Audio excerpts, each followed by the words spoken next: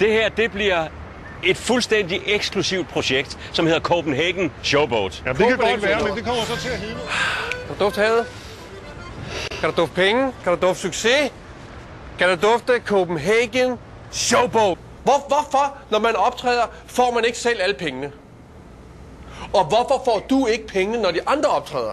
Kom ned i Copenhagen, mand. Copenhagen Showboat. Gud, det vil jeg da gerne. Der kommer folk, der kommer, øh, der kommer HBO. De sidder og holder øje. Hvad sker der i Europa? De, de er helt tosset med det, Skandinavien, ikke? De sidder og kigger.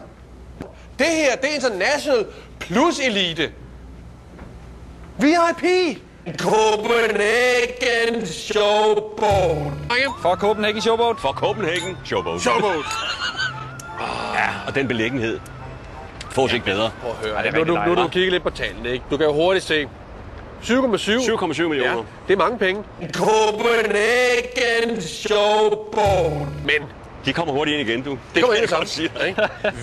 VIP, Kurt. Det er For det. helvede. Nu er vi oppe i den store liga. Ja, det er på første klasse. Ja, nu er på første klasse. Jamen, det skal da også være, det her. Ja. Det her skal være eksklusivt, ikke? X Jamen, det er. Goddag, Første klasse. Jeg kommer fra Københavns Havn. Hvad mener du med det? Jamen, øh, der kommer en båd, der fjerner herfra. Den skal fjernes helt ud af havnen. Det er en pissegod idé.